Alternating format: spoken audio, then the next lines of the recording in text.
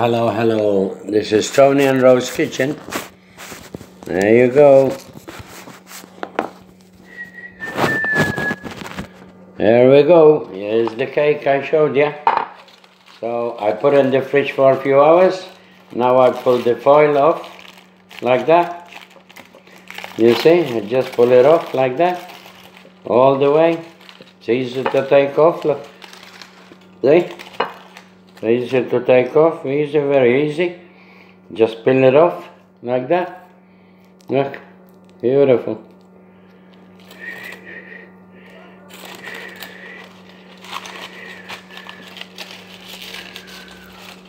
Bit patient, just a bit of patience, that's all you need to have, just a bit of patience. And you peel the whole lot off. Slowly, slowly like that. See?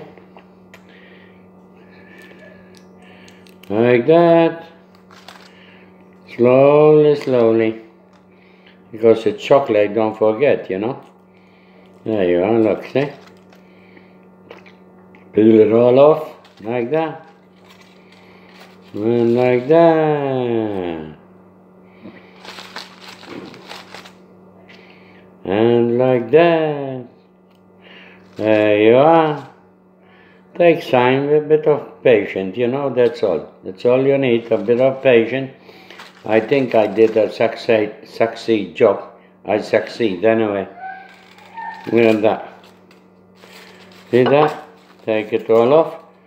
The, the thing. Make it all off. Beautiful. Now, it's time to cut it and taste it. How about that? See that? Beautiful and it's a chocolate cake. You can make a double. You can make two times and then you put them together. Okay? Put them all together. This is only after two to three hours on. Uh, there you are. After three hours in the fridge. I succeeded. I'm very happy with it. Now it's the time to cut it. It's very soft, it's very nice and soft. And we come to cut it now. How about that? Okay, there it is there.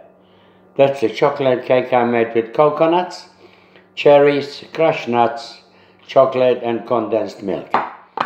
So what we're gonna do now, we're gonna cut it now, okay? See how it weighs. One, look at that. Isn't that beautiful? Look. Oh God, yes. Oh God, yes. Look at that. Cake with no with no flour. Okay, look at that. Yeah, you gotta be patient, you know. By right, you should put a tiny bit of hot water on the knife, you know, because this is all chocolate, and it's absolutely wonderful. I'm not kidding. Absolutely wonderful. The longer you leave it in the fridge, the better it is. Nou, kijk je. Oh my god.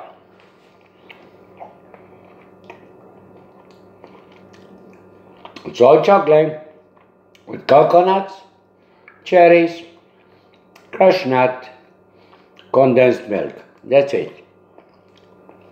As I said, you can put another one, fill it up with cream, put the other one on top and decorate it and it stays lovely, fresh and it's all chocolate. Mm. No sponge, no flour. That's it. And if you want, you can buy the sugarless milk, sugarless chocolate, and it comes good for you. It comes for gluten free. No flour from Tony and Joe's kitchen. And I loved it. And I succeeded. First time in my life I did this. I used to do it. I used to do ricotta with, with condensed milk.